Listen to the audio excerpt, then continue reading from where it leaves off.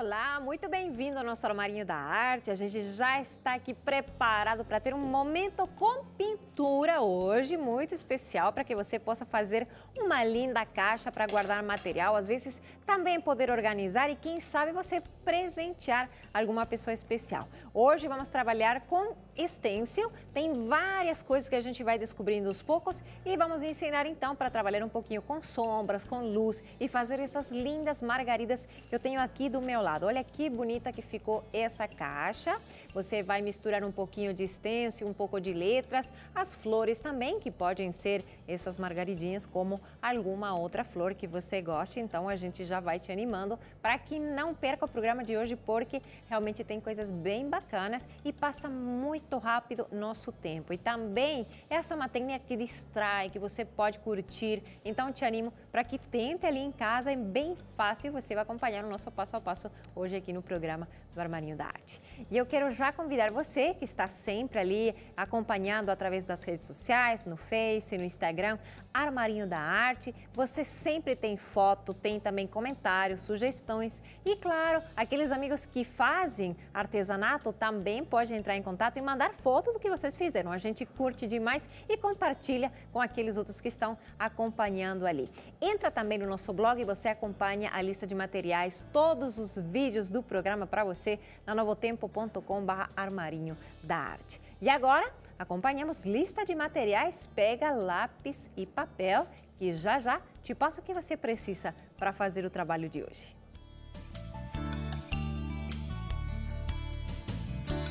Para fazer a caixa oval com stencil, você precisa caixa de MDF, tintas nas cores sombra queimada, branco, verde água, mineral, verde pistache e verde oliva, amarela e vermelha.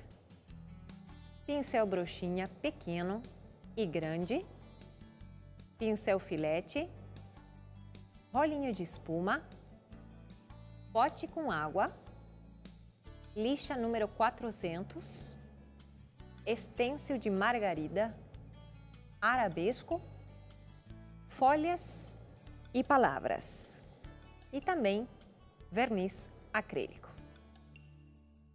Muito bom, já estamos aqui prestes para começar a nossa pintura. Já vou colocar o meu avental para poder trabalhar tranquila e não correr risco de sujar a roupa, como a gente sempre fala, né? E também encapa a mesa ali, coloca todo o teu material à mão, coisa que você sente e possa curtir esse momento, tá?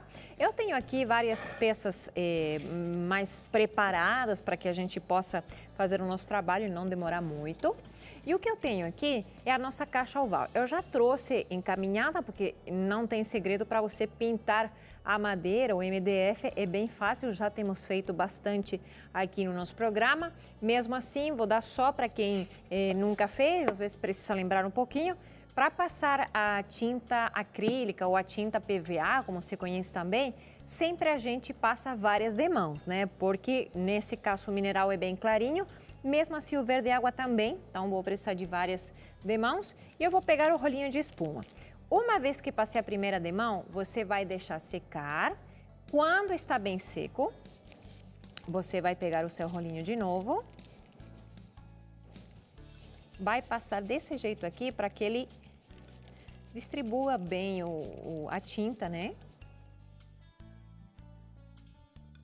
Então trabalha ele para que fique uniforme. E quando você sente que já está todo o rolinho bem molhado com a tinta mineral, você vai passar aqui.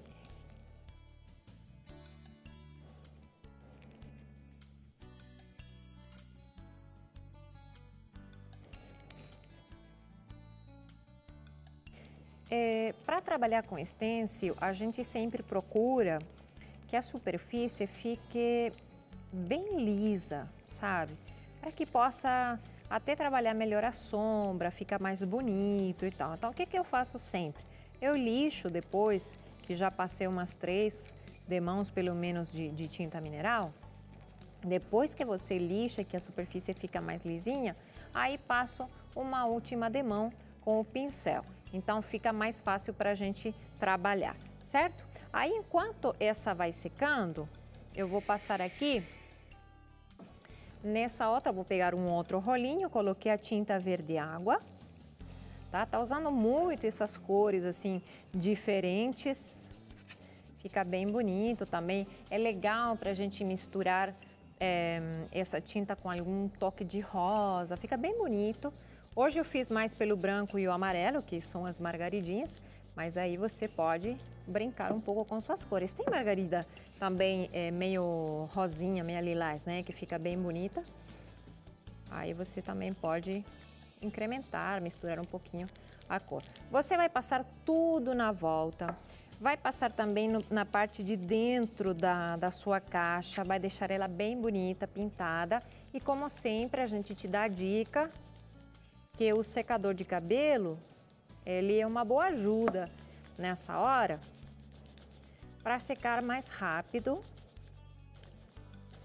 a, a tua peça, tá? Eu vou ficar mais ou menos por aqui, falta ainda poder terminar e teria que, que fazer uma segunda, eh, uma terceira demão, na verdade, eu já tinha passado uma. Tá? Mas para não perder tempo e a gente focar mais no, no stencil, vou deixar por aqui. Como eu não vou usar mais esse rolinho, Vou deixar ali na água, porque senão a tinta depois seca. E o que acontece? Vai ficar, é, o rolinho vai ficar duro, não vou poder usar mais. Então, para eu começar a pintar aqui, vou secar um pouquinho com o secador.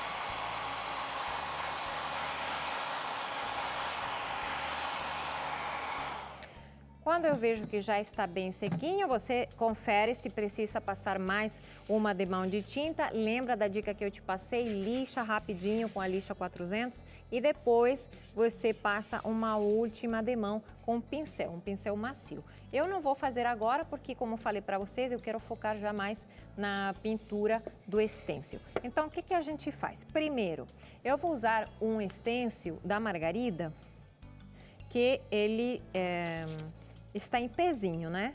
Então, ou eu posso fazer ele desse jeito aqui, ou posso fazer ele desse outro jeito aqui, só que já, não, já cortaria algum espaço do meu stencil. Então, eu optei por fazer assim.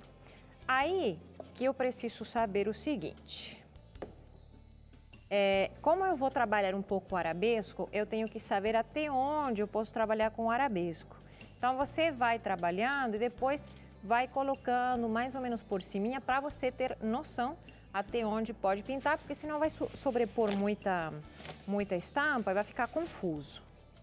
Pega uma toalhinha de papel, tá? Ou até se tiver jornal, ou até a tua cartolina para trabalhar ali, você pode para limpar o pincel, tá? O pincel tem que estar tá bem sequinho. Vou colocar a tinta marrom ou é, sombra queimada, como que chama. E eu vou limpar o excesso, tá? Do pincel, deixar ele bem sequinho. Ele vai ficar sujinho, por assim dizer, né? Então aí eu vou colocar o stencil desse jeito aqui. Os que estão na borda eu vou trabalhar, vou escurecer um pouquinho mais tá?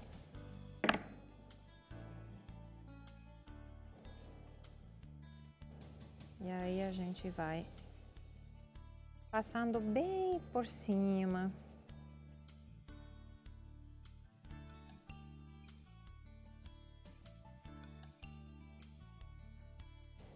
Alguns vão ficar mais clarinhos, outros mais escuros. Eu gostei de escurecer um pouquinho mais os que estavam mais na, na borda da, da caixa.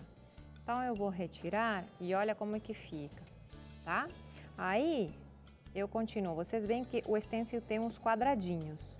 Então, o que, que eu faço? Esses quadradinhos servem para eu ter uma guia, né? Do meu stencil. Eu vou colocar até aqui, porque a margaridinha vai chegar. E aqui vou fazer bem de leve, porque pode que a margarida atravesse aí alguma parte, tá? Aí eu posso fazer o seguinte, posso encaixar essa partezinha aqui e ó. Você já vai com stencil de novo. Aqui já faz Sempre o pincel eu trabalho com ele em pé, tá? Olha, e aí foi ficando. Como essa parte está meia... Faltou, né?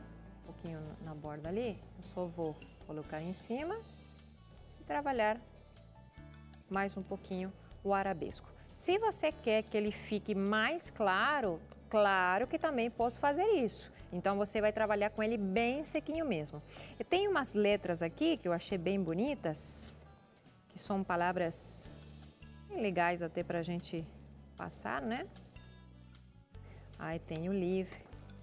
Vou molhar um pouco o meu pincel para deixar elas um pouquinho mais escuras, mas não muito.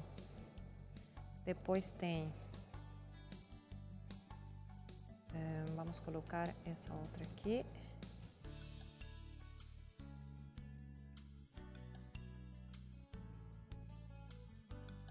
E aí eu já estaria em condição de colocar a margarida, porque senão tenho medo que não, é, não dê destaque suficiente para ela, tá bom? Aí, o que, que a gente vai fazer? Vai trabalhar com esse mesmo marrom, que é o sombra queimada, vai passar toda a margaridinha e depois vamos a começar a trabalhar com as cores e dar vida à nossa flor. Então, agora a gente faz um breve intervalo, mas já te falo, não vai embora, porque volto já com mais armarinho da arte e mais pinturas no dia de hoje.